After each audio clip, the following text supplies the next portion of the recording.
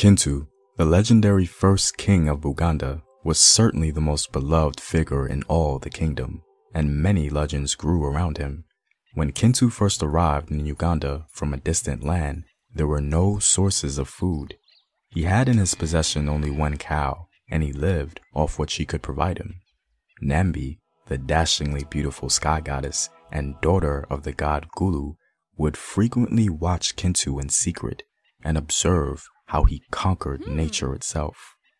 Over time, Nambi fell deeply in love with Kintu and wanted to marry him.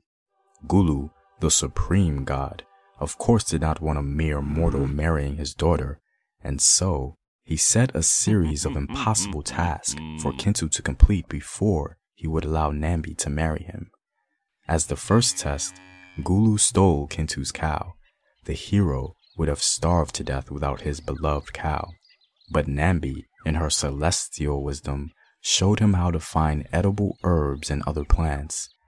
And so, Kintu passed this test and many others. For a final test, Gulu told Kintu that he could marry Nambi if he could pick his own cow out of Gulu's herd.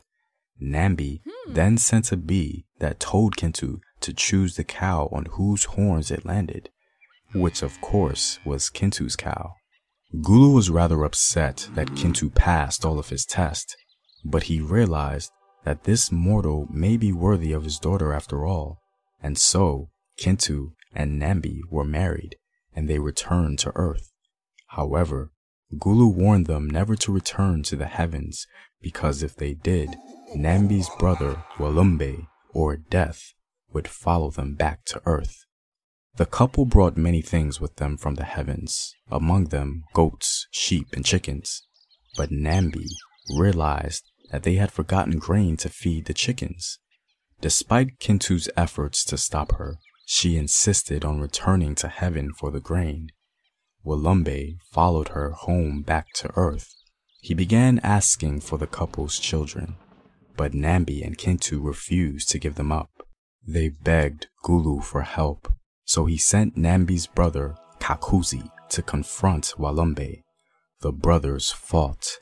Oh, they fought.